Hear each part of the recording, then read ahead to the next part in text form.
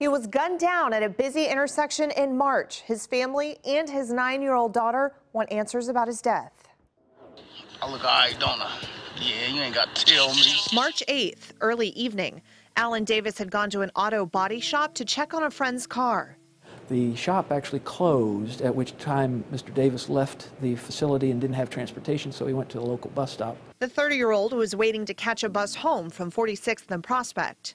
A dark colored vehicle, black possibly, uh, car with two occupants, apparently for no apparent reason pulled up to the bus stop. One of the gentlemen got out, approached Mr. Davis, shot him multiple times with uh, no apparent interaction whatsoever between either individual. Someone hopped out, shot Davis six times, got back in the car and took off. Davis dragged himself to a gas station. Someone there got him help and he made it to a hospital. He lived for a week. He talked for a week. After that week, though, just before he was supposed to come home, he died. If I knew that it would have been like that, I would have been there every day because he was supposed to come home. I love my brother, and um, I'm sad he's gone. I'm really sad that um, somebody felt that they had the right to take his life like that. Nobody, nobody has the right to play judge or jury when it comes to somebody's life.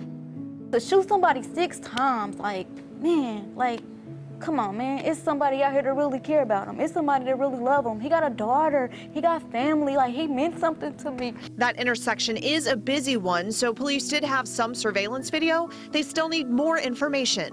Why couldn't you just talk it out? You know, whatever, whatever it was, why couldn't you just let it go? You know, it, it couldn't have been that serious for you to want to shoot him that many times. This is a pain I never want nobody to experience. I wouldn't wish this on my worst enemy. Like, so what if it was your family? Would you want somebody to say something?